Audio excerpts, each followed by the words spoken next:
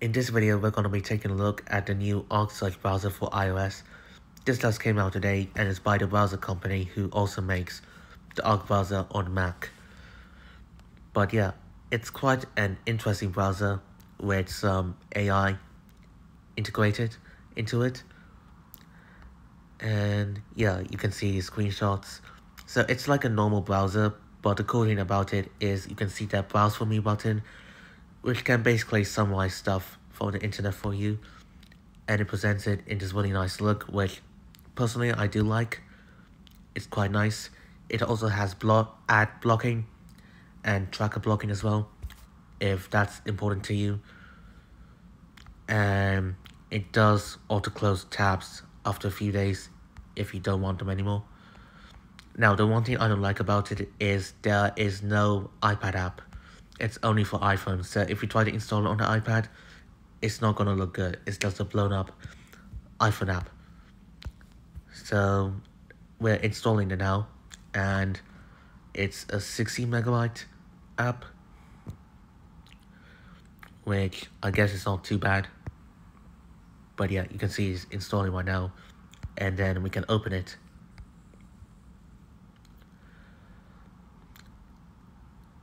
And here's the onboarding, which is quite nice, honestly. So let's go. It does ask if you want it to be a default browser, which um, I don't want, so I'm gonna skip it. Again, it's asking, I do want to skip for now. And yeah, here's the browser. I do like the background, quite cool, but yeah, let's close it for now. And we do have this cool logo we can play around with. But yeah, you press this at the bottom left, you get the tabs. Just more promotional stuff, so I'm gonna get rid of it. So yeah, that's your web address bar, and the bottom right is just your usual browser controls. And if we go to settings, you get your default site settings, which you can basically block ads, block trackers, stuff like that. You can set your default browser, clear data, not a whole lot of settings, but I guess they're trying to be minimis minimalistic.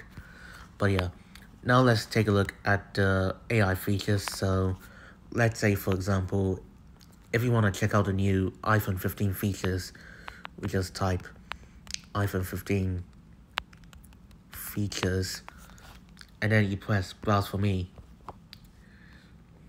It's gonna go through um, some of the websites and then it's going to present them to you.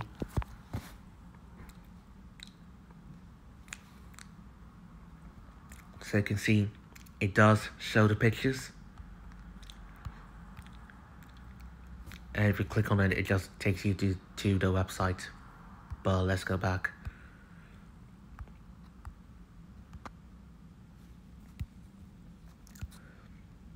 But yeah it pretty much good. It's still generating the response, but I really like how it displays stuff. That's quite nice.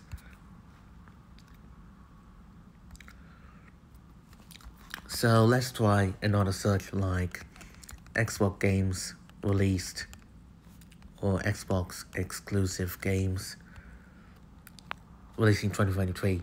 So browse for me Again, it's gonna go through all this.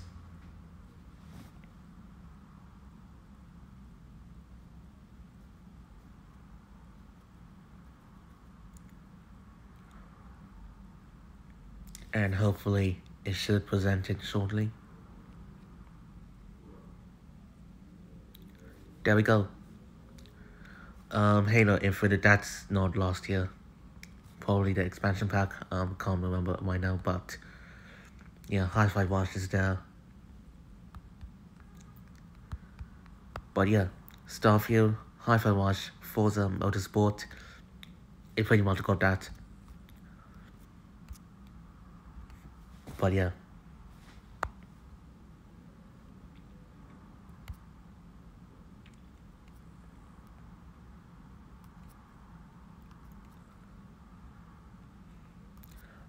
Uh, Flight Sim 2024, that is this year. That's not last year, but I guess it's going by the announcement date. So it's not always accurate, but it does get a lot of the stuff right, at least. But yeah, that's quite cool. Let's try one more search. That is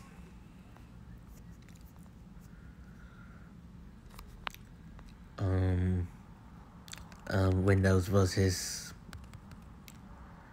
Mac OS. Or let's do um, the most popular browsers in the world.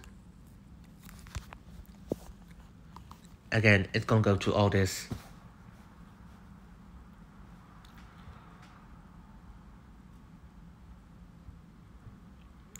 So I guess the amount of time it takes depends on the server load, but yeah.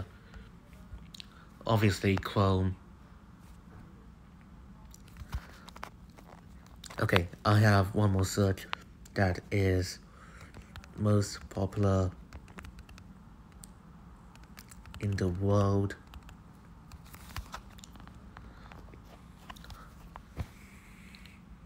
It's Android, but I do want to see if it gets it right.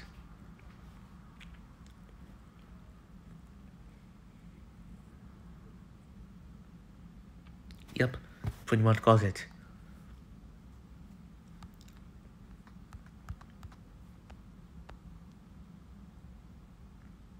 And it does also point out iOS is more popular in the US.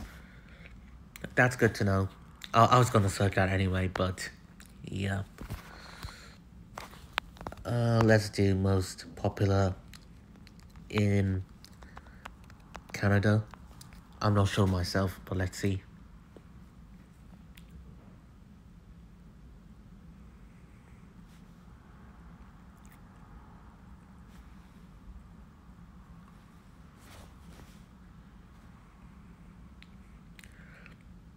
And it's saying iOS.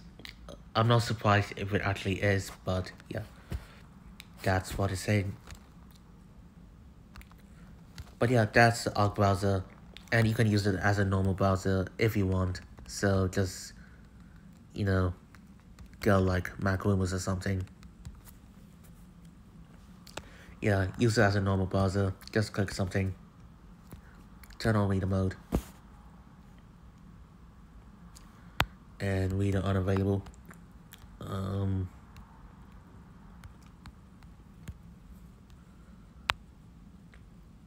okay, this works.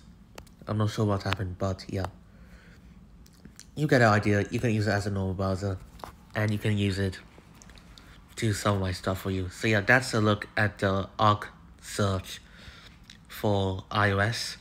I hope this video is helpful and leave a comment if you have anything to say. I'll try my best to reply to them. So yeah, thanks for watching, and I'll see you in the next video.